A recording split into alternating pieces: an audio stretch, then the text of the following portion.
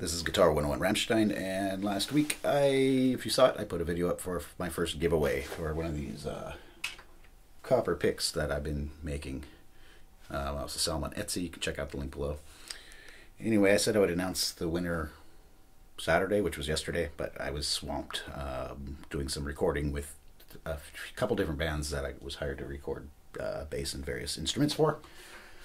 So sorry for being a day late. Uh, so today I will be announcing the winner in this video. Um, I think originally I said, uh, you know, there was instructions to follow in the in the comments to name which kind of patina. You know, there's like the natural copper, there's these fire patinas.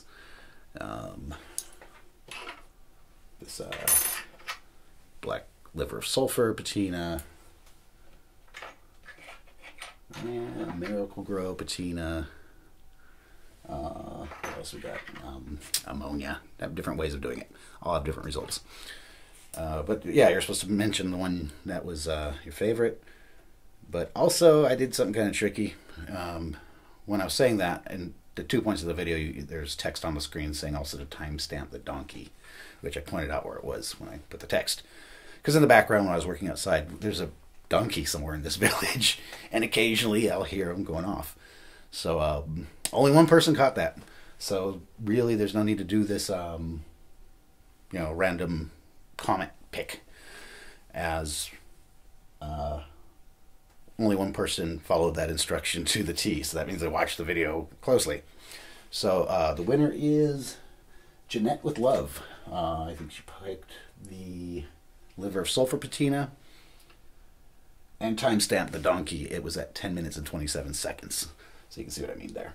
Um, so yeah, out of all four comments. so this giveaway didn't really, I don't know.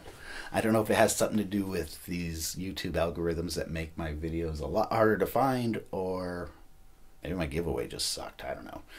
Meanwhile, I did get quite a few orders for picks, so that's cool.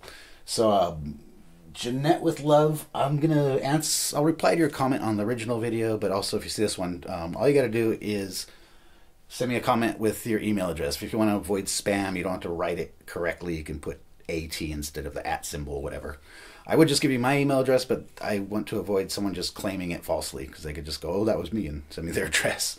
So um, send me your email address. I'll send you an email to get your mailing address, and I'll throw the one you picked. I believe it was this one into an envelope and get it mailed off this week. Uh, so thanks to everyone who participated, all four of you. Uh, so yeah, I mean the video did get in one week 68 views, 13 thumbs up. I don't know though. I thought a giveaway video would do better than that. Um, but I do still have these for sale on my Etsy page. They start at 18 euro.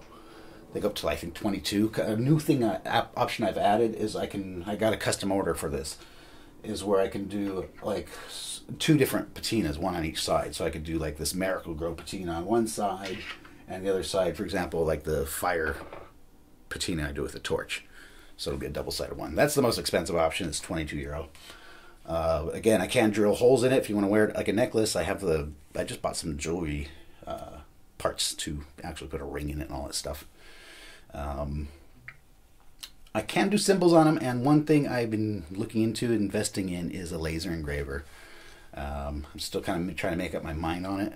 I'm kind of hesitant too because I'm getting into buying tools is like it's more expensive than it's like instruments. You know, it's a hobby that gets expensive, but there's always something you can need.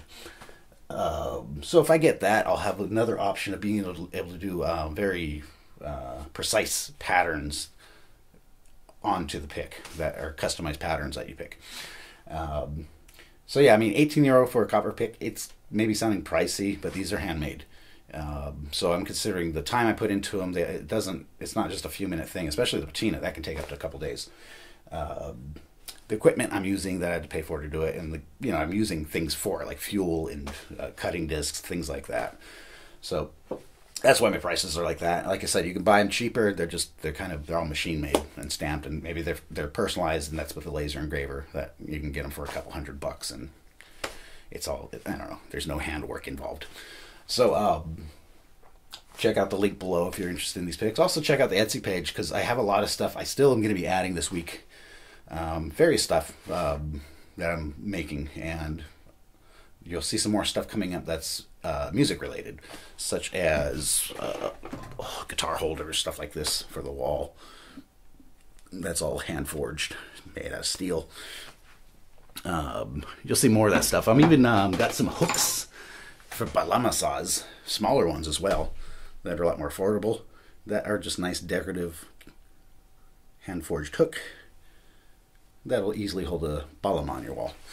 Because that's one thing about a bağlama is I've cracked one because they fall over so easy with a rounded body. No matter how carefully you think you lean it, they still can fall over very easily.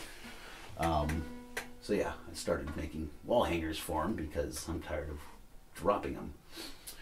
Uh, so that's it. I will be doing another video very soon, more extensively on chords for the bağlama. And also, you know, if you haven't noticed, if someone puts something in the comments for a specific video they'd like to see me do, I usually try to do it if it's reasonable, you know. Um, so feel free to add that stuff.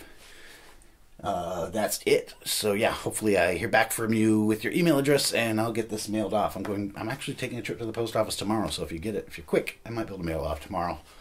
I'll be able to do it this week, regardless. Thanks for watching. Till next time.